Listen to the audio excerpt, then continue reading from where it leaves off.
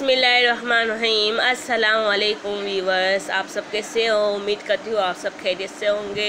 तो आज हम बनाएँगे कस्टर्ड पकोड़े और अखनी बनाएँगे गोश्त की। आप हमारे साथ ही रहना और हमारे चैनल को लाइक, सब्सक्राइब, शेयर ज़रूर करना ताकि हर वीडियो की नोटिफिकेशन मिलती जाएगी। तो रमज़ान की खुशियाँ आमद आमद आला पर ऐसे हम सबको खुशी रखें और माँ बाप की इज़्ज़त करो। अभी हम चलते हैं किचन में।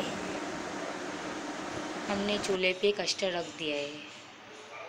कस्टर्ड माशा से हमारा रेडी हो गए हैं। अभी जैसे ये ठंडा होता है, हम उसको फ्रीज में रखते हैं।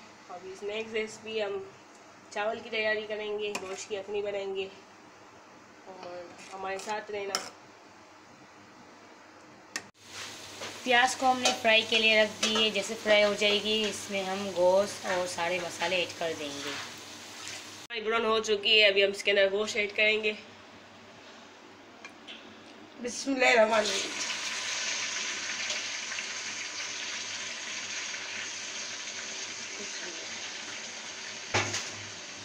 अब ये मसाले डालेंगे टमाटर मिर्चिया।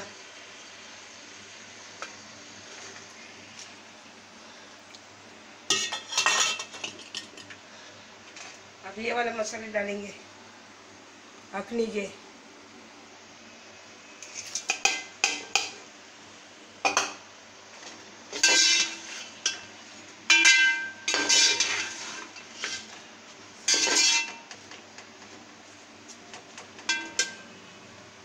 अब इसके बाद पिसा हुआ मसाला डालेंगे ये वाला अदरक लहसुन और मिर्ची। उसका हम चौप बनाएँगे। हाँ ये डालेंगे। इसके बाद हम डालेंगे और हमारे साथ ही रहना और थोड़ा इसके अंदर पानी ऐड करेंगे। मसाले का पानी ऐड करेंगे। हाँ बस। अभी हम पकौड़े की तैयारी कर रहे हैं। बिस्मिल्लाह।